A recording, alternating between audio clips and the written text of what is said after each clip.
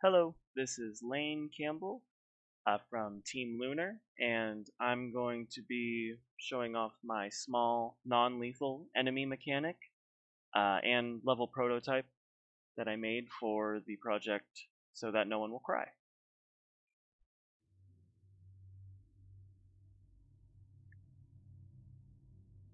Go into level select, and my level is here, small enemy.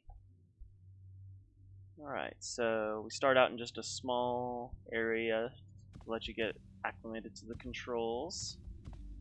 Walk through the open door into this small narrow highway hallway, and I'm able to see ahead of me the small non-lethal enemy that I created for this milestone.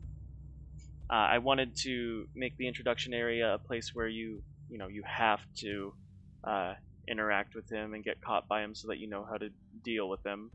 Uh, if I go too far forward, that door closes behind me. So I pretty much have to run into him. And when I do, he attaches to my leg, and I try to move around. I can move, but it's very slow. I'm not even able to sprint or crouch. So I have to mash the spacebar to break free. When I do, he falls over, and he'll be incapacitated like that for about 7 seconds before he gets back up and then starts patrolling and, and coming after me again. Like so. Alright, so that's clearing the practice, uh, the introduction uh, action block rather. And here in this next room, we have two locked doors, an inactive light puzzle. I'm able to press the button, but nothing is going to happen because it's not active right now. So, I'm going to move forward to the only open door. I see ahead of me an enemy.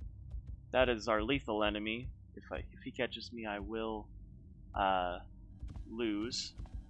If I go too far forward, this door closes behind me and I'm locked in here with them. I'm able to hide from the enemy inside of the lockers. He doesn't know how to open these.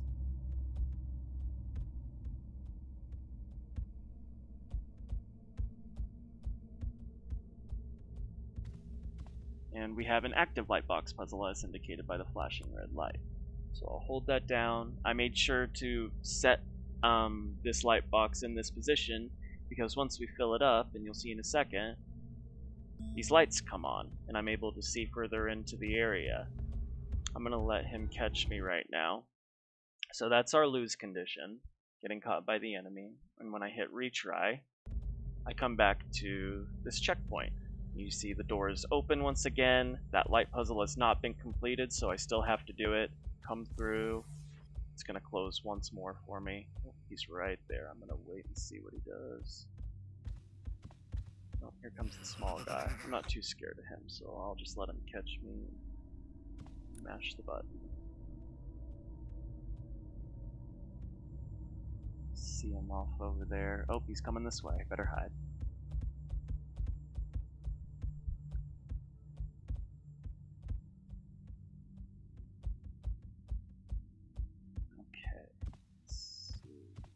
They've gone far enough away now. And our lights come back on just like last time. Let's see where they're going. He's coming this way. I'm gonna hide from you.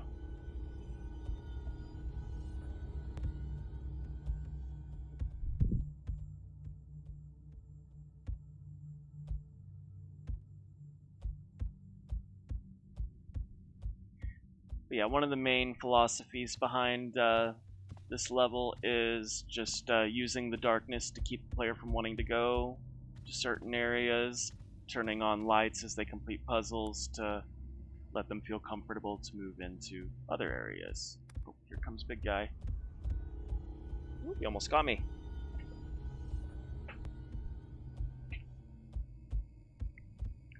The second one is this second light puzzle here is a little bit more challenging than I wanted it to be.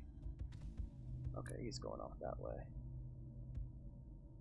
But once we get to the next one, it's a little easier to get. But in future versions, I'll probably try to rework these enemy nav points so that they don't come so close to this light puzzle as often as they do right now.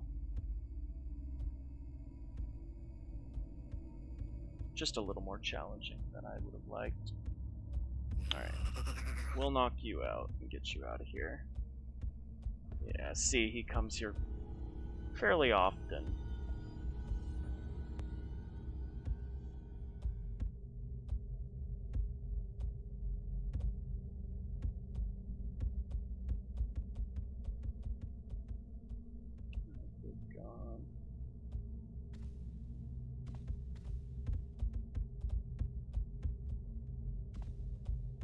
Looks like he's not over here right now.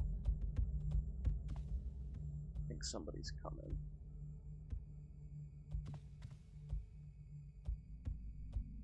Oh, here he comes. Didn't even see me.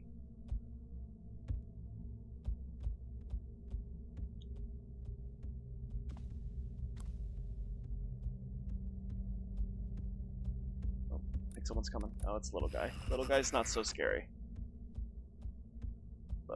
Guy's coming now.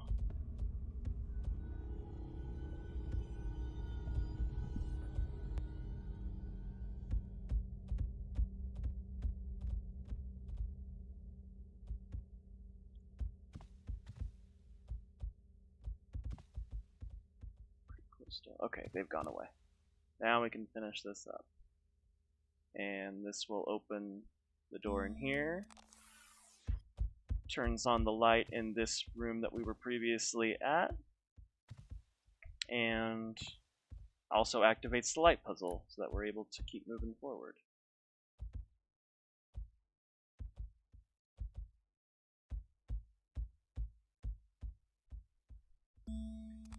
And that's the end of the practice action block. Now we'll move on to the master. And it continues the theme of darkness all around, and the more puzzles you complete, the brighter it becomes. Crouch to get through these little areas. I wanted this the light here to guide you through and real make the player realize that they need to crouch. Another nice touch is these light boxes actually light up the area a little bit so you can see around you while you're stuck in this position. Once again, we see lights come on, guiding the player where to go. Hearing any of my enemies at the moment. Oh, it's right there. Oh, I think they ran into each other. He's gonna try and chase me now. And that's actually okay. So, I actually exited the, the locker there to um, test another checkpoint out. That wasn't him getting through the locker. So if I hit retry, I am now back here, uh, past the uh, the door, and and the door is open once again behind me.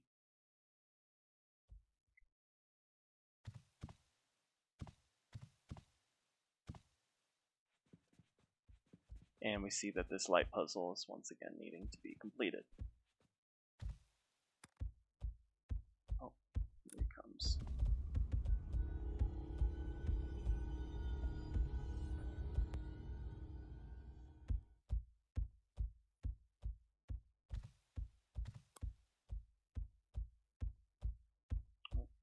Getting attracted to the light box.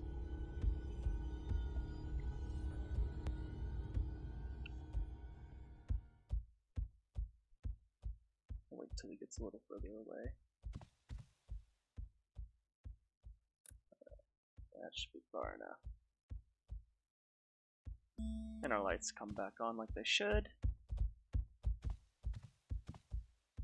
Oh, I hear him. He's pretty close.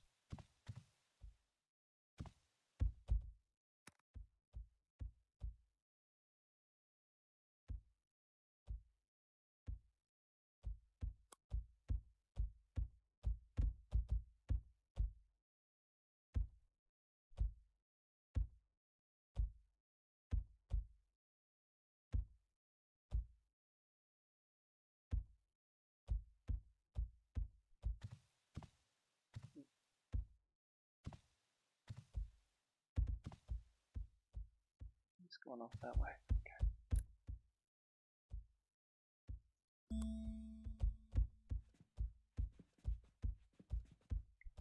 So these lights have come on now, guiding me through this little hole. Oops, it's gonna stop right there.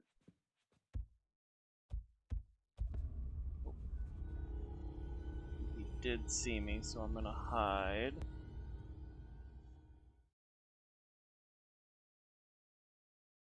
Start going, going around the area again. He's going off that way.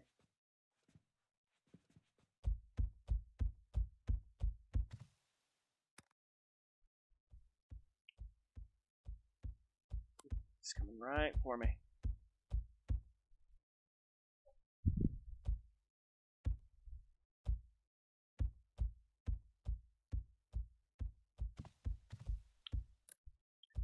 And as we position these, oop, you saw that light?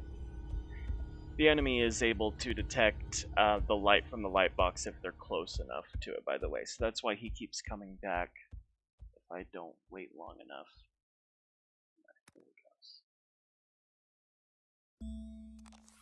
And from that angle, I'm able to see that door open up, so I know I gotta make my way over there.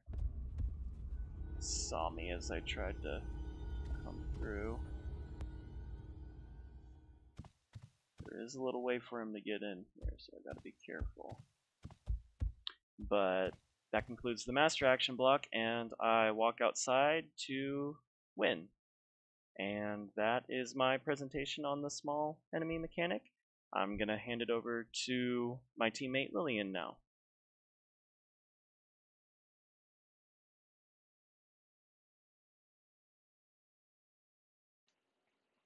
Hello, my name is Lillian Truax. I am a part of Team Lunar, and this is my showcase of the mechanic I worked on for this sprint as well as the level prototype. As you can see, this is our build in Windows with uh, the exe file and the revision I'm going to open this up.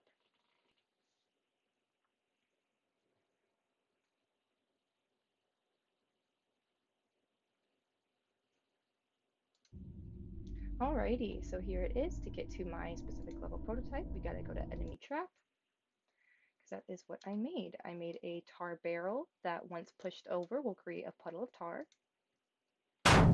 The sound is loud enough that the enemy will become alerted to whenever one is tipped over.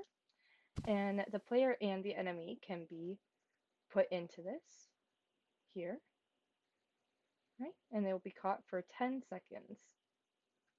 And once the 10 seconds is over, it is going to be three seconds of a severely diminished walking speed before it goes back to normal.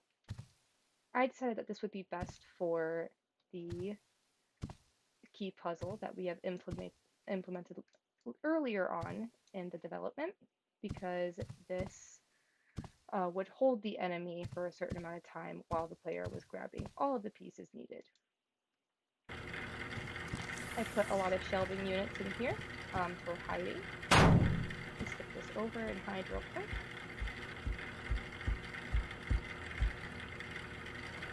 And the enemy is captured. So we're going to bring this over.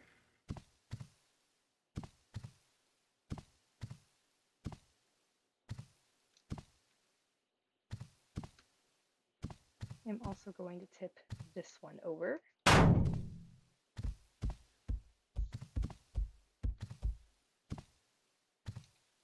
That he is caught again. And again with this one.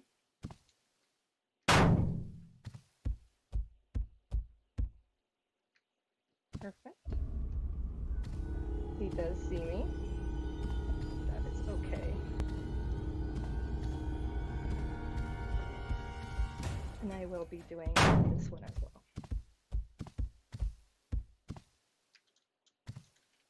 Come on. Thank you.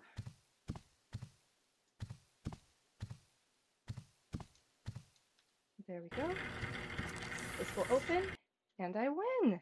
So that is my showcase of my enemy trap, tar barrel, and tar puzzle puddle for this sprint. Thank you so much for watching, and next up will be Keith in his throwable glass bottle mechanic and level prototype. Thank you. Hi, thank you to Lillian for that introduction. My name is Keith Patty, and I'm going to be demonstrating my mechanic and level prototype for our project so that no one will cry. It's a, uh glass bottle that can be picked up and thrown, and when it is, it will draw the enemy eye in and spawn a hazard that will also do the same thing when it's stepped on by the player. Um, I designed the level in a way to make them backtrack around, back through, and kind of experiment with the consequences of their actions, which is why I didn't place any of the hazards, a part of our core gameplay loop, in the level itself. This was a design choice just to see what could happen with the bottle being the sole source of the hazards coming in and what would happen with the player um, dealing with that. So with that, I'm going to get into the level um, and show how it works. So when we start off, we see that this bottle flies off the shelf over here, and um, we see that the AI has come over to investigate it. Um, so hopefully this will give the player a little bit of intuition to kind of walk over here and look at the bottles, and they'll see that they can collect them, where this little UI will pop up and allow us to aim and cancel the throw and actually release it and throw it, which will draw him over when he comes in uh, when it when it lands, I should say. Um, and I designed this like lightbox puzzle placement to show that door in the right corner on the far right, um, to show that the AI is roaming around that hallway, and you can see it out of the corner of their eye. You do also see that big door, but it can be kind of misleading to the player because there will be a locked hallway over there.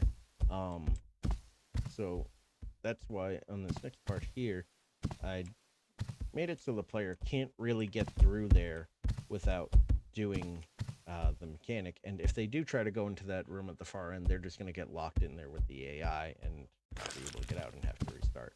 Um, so I threw it over there. I'm going to book it straight to the door over here, which we can interact with. And I'm going to let him come back and see me so I can demonstrate the transition into the next area.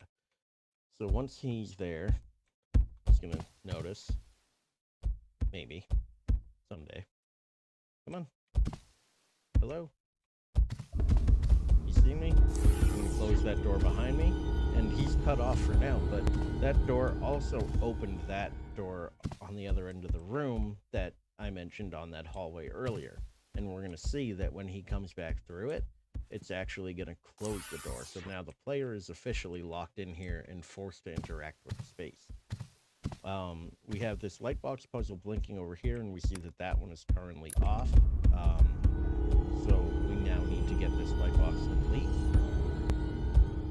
and avoid him, which when the, he, the player does enter this room, the nav points will switch.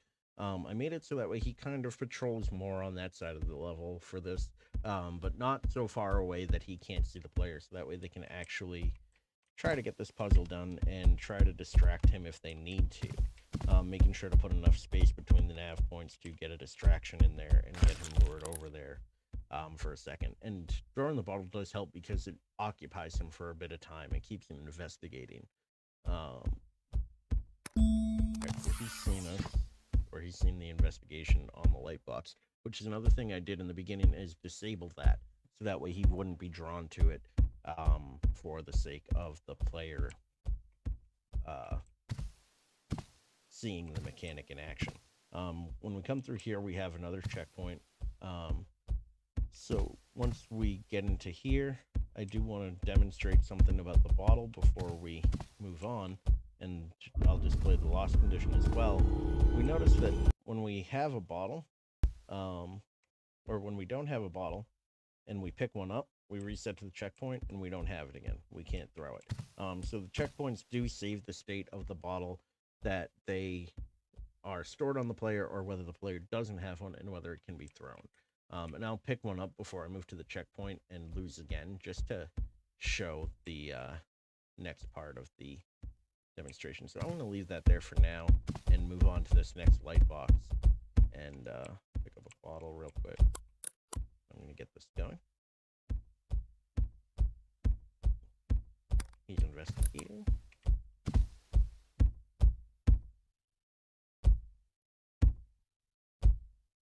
Gonna let him go away for a second, see where he goes, and then determine if I need to distract him. Probably not. I don't want to throw more houses than I need to. Maybe I should have.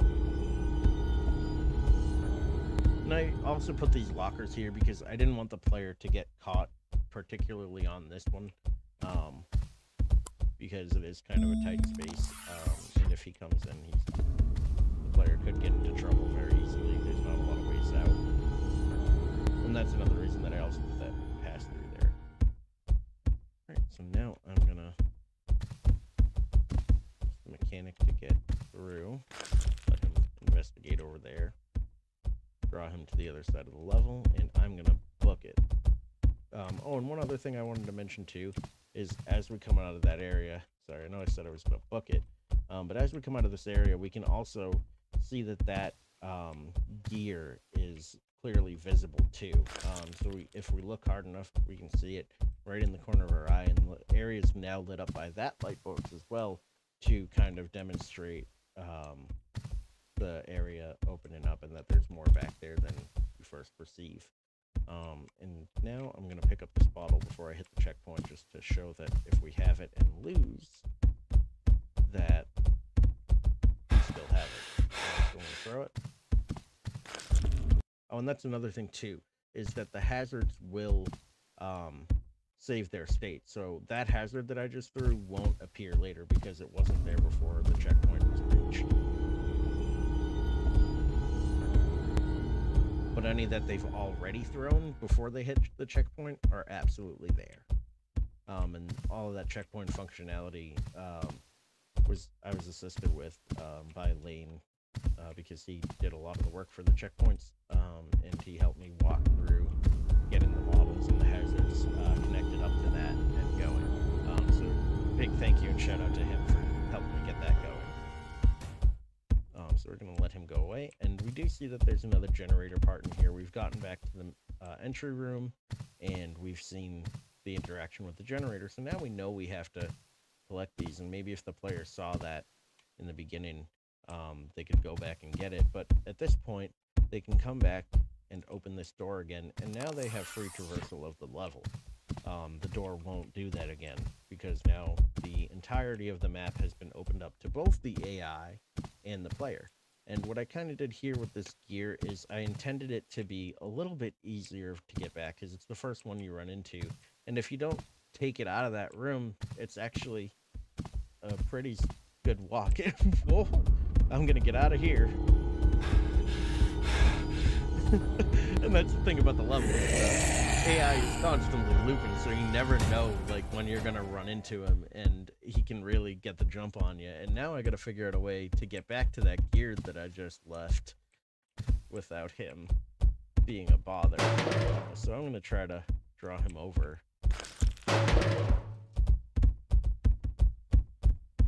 Hopefully I don't have to go through there again. And I'm gonna walk this generator piece over to the generator. Alright, and now we've got one more to get, which is that one in the back.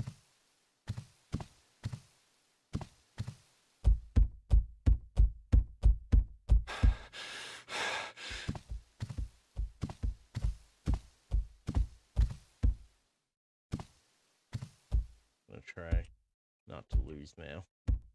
It's going that way, so I'm gonna. Oh, why is there gonna be one right in the door? Why did I do that? Oh, I stepped on it. I'm getting in the locker.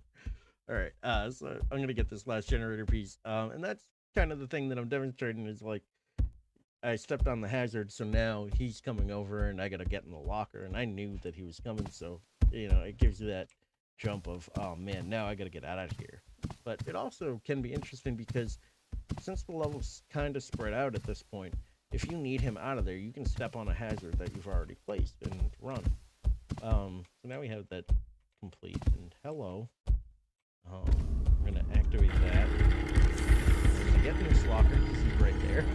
And then i'm gonna book it for the exit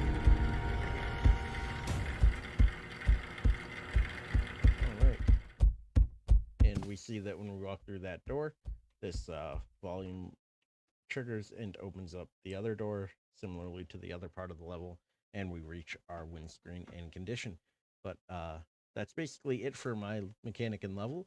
I uh, really hope you enjoyed the video. There is a little bit more that I would like to do with it. I would have liked to make it so E and Q could increase or decrease the trajectory of the path while aiming, so it would increase uh, the speed that the bottle was thrown. But I just kind of ran out of time, as we do. Um, but again, thank you for watching. I really hope you enjoyed the video and the mechanic, and I'm going to pass it on to my teammate Gavin Wood. Thank you.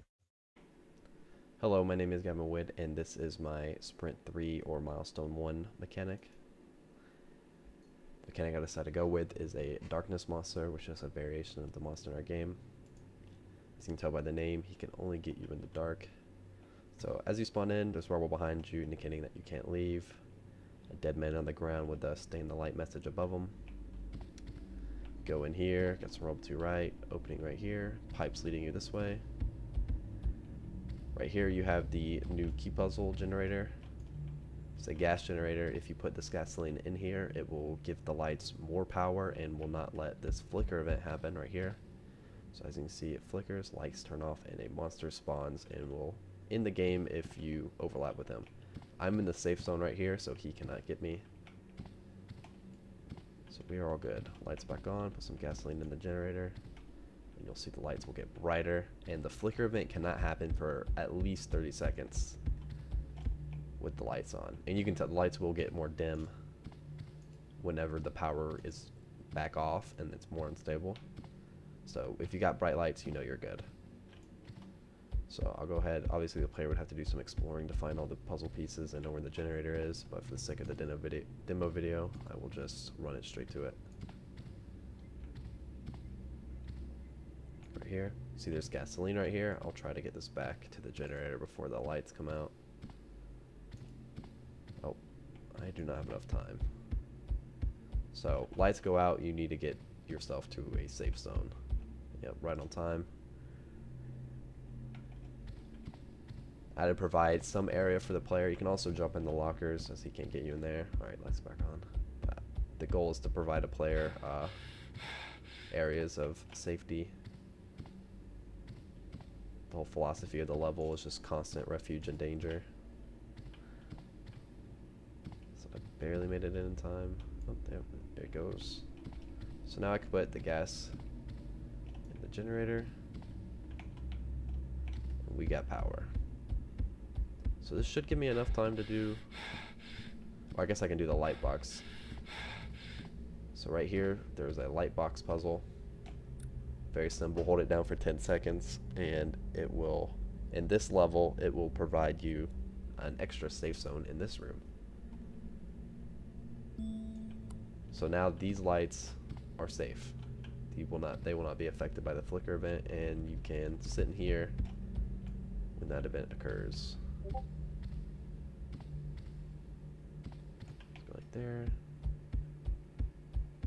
Pick up the last piece. Oh, probably should head back this way. So you can see these are not flickering. And now the overlaps that are in the safe zone are now taking place right here at these doorways, preventing me from getting attacked. So lights back on, I'm safe to go back out.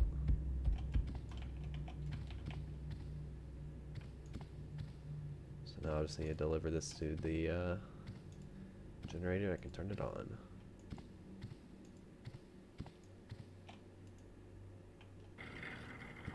Generator is on, and I think the monster just perished walking into that overlap, so I think we're good. And now the level can end. Before the level ends, I'll show you extra rooms that the players would discover if they were to explore and didn't know exactly what to do. So in here, there's more gasoline. Right there, there's more gasoline. And I guess I'll show the loose condition as well.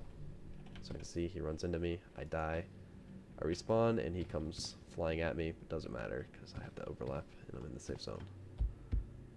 So yeah, that's pretty much the level. The main philosophy, like I said earlier, just uh, refuge in danger. You just have to avoid him by staying in the light. And if you play your cards right, it'll be pretty easy. But if you get caught out with this light, you only have about 5 seconds to find safety of some sort. And he is very fast. You cannot outsprint him. And there's the level. So I hope you enjoyed. That has been my mechanic. Um, I guess uh, that's it. Have a good day. Hello everyone, my name is Eric Tor, and welcome to the welcome to the flashlight level. The reason why I said flashlight level because this is the because we- we're going to be using the flashlight throughout the level, which is exactly attached to the player. So as you can see around here, we're in in a dark and abandoned house where where we are pretty much trapped inside. But we got to be careful because the uh, the enemy AI. But there is a flashlight, as you can see. So we got to be careful. He's careful because the, the enemy's right here.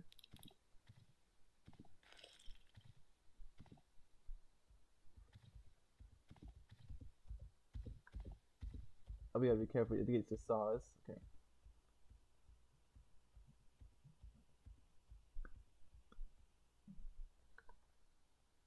I think it might be gone. I'm not sure.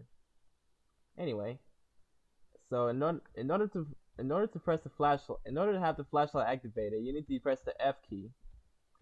But we might need to be careful for the flashlight because it will attract the um the enemy. But I also gotta be more careful because the shards the shard the shards on the ground. So we're gonna go downstairs.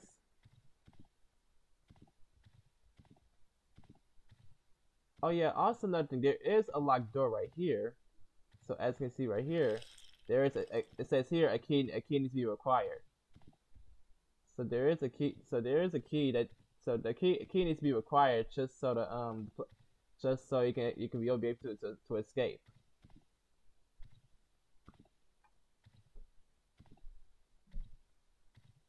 And so we gotta be more careful because the enemy's right here.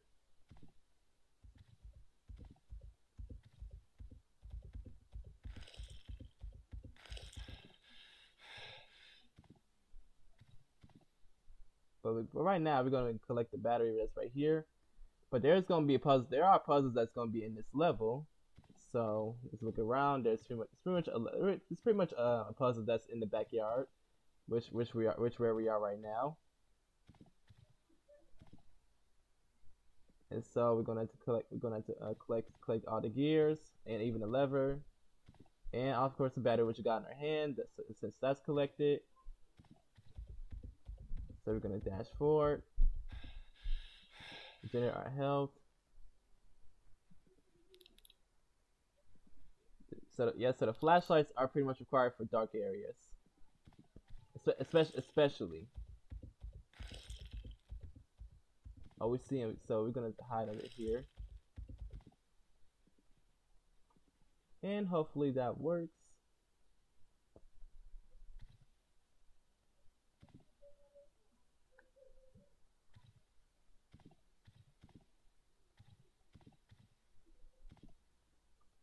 Okay, so we got the gear right here.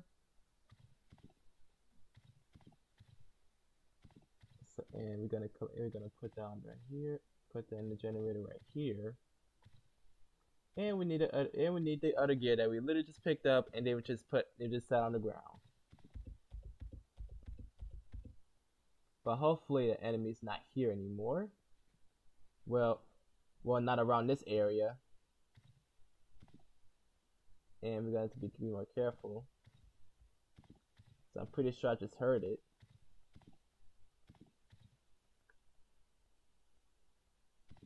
Okay, so we got so we got the puzzle right here.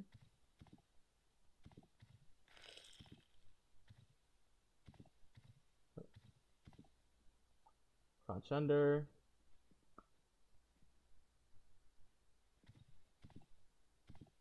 And then we're gonna then we got the um the second the second gear. What's left is the lever.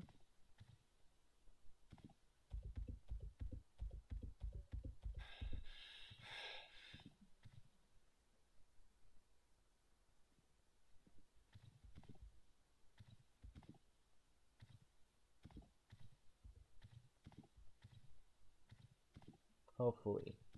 Hopefully the enemy's not around this area. Okay, so it's dark, so let's turn let's on the flashlight. And we see the last part, which is the lever.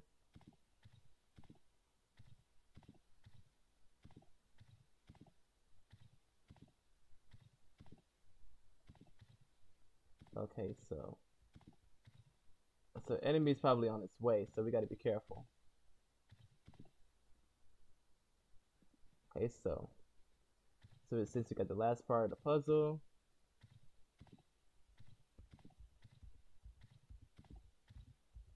and now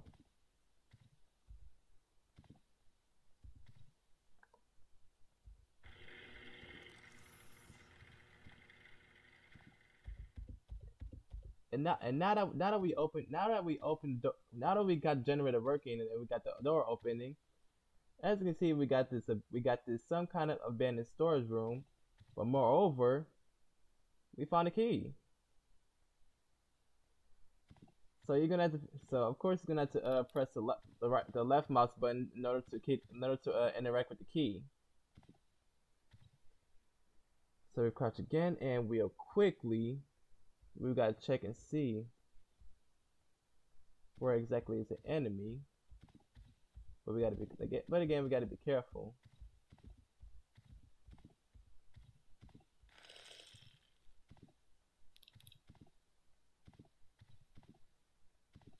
Okay, so here's required. We got door, we got the door opening. And so we're gonna have to we're gonna, we're gonna have to have the um the light puzzle working and now we we officially escaped. And yep that's all for my flashlight level. So I, all you, you just need to click to complete the puzzles collect the key open the open the, open the main door put it with the key which is required and also complete the light puzzle to escape. Thank you guys so much for watching, and I will pass the video on to Michael. Hello, everybody. My name is Michael Baltazar, and today we'll be going over the thing, the mechanic that I built for so that no one will cry the game for the capstone project of Team Lunar. So, if we could just start this bad boy up. Give him a quick second, load in so that no one will cry. We go to level select and we go to keypad. So with the keypad, it's simply just a keypad tool where you see we have a code, so a number signed, and then from 1 to 2, which means it should display, hopefully, to the, the player that this code uh, has has different numbers and the numbers should go up based on the bottom number it's assigned to.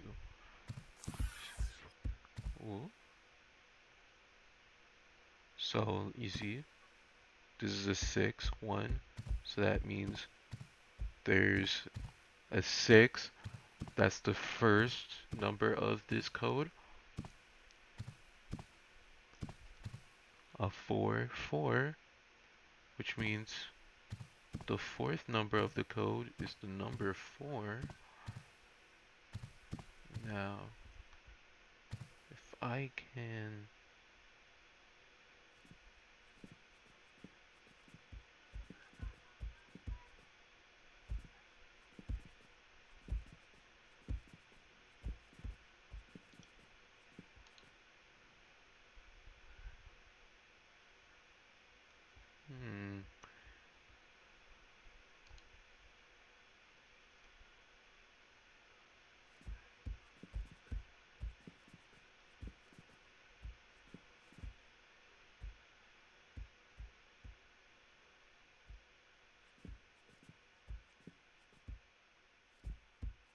Seems like bad boy is stuck over there.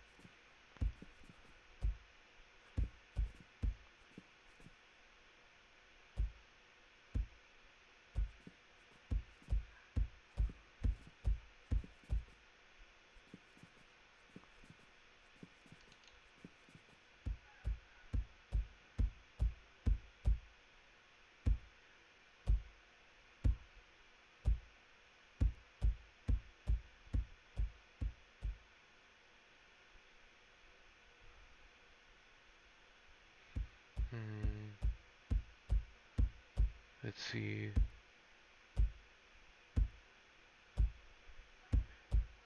Can I make it out?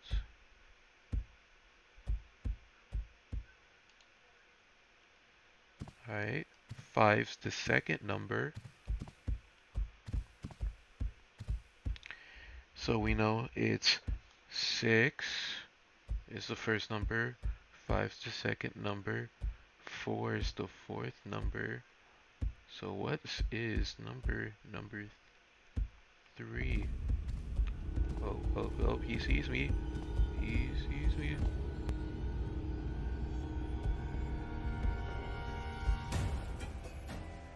Okay.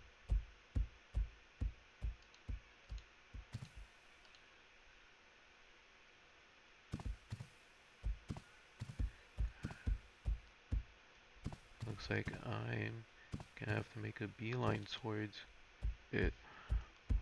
Cause he's not gonna let up. Huh.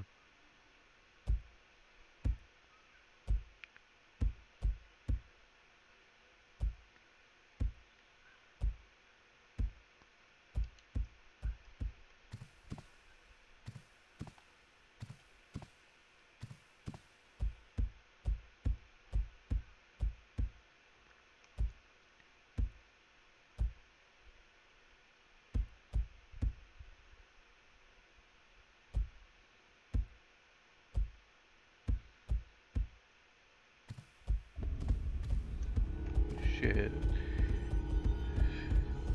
Okay, so this number two is the third number, as we now know. So the code now is 6524.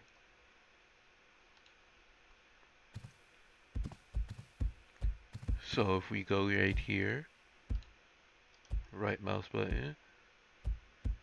So let's see if we, oh, six,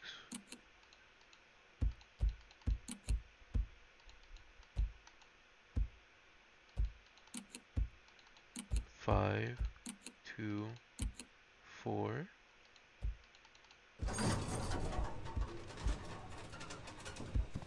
Up, there we go, and that's that's it. Well, let's restart from the beginning since we now know the correct input. Let's see if we whoops put in the wrong code now. Invalid code. Invalid code.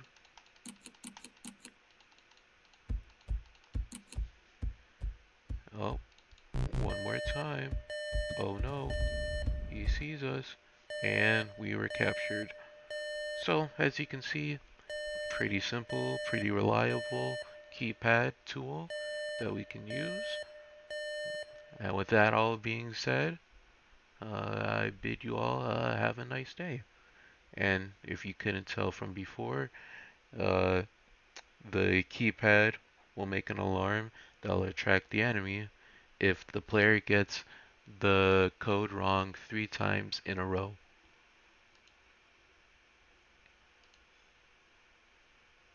And like I said before, so long everybody, and have a very nice day.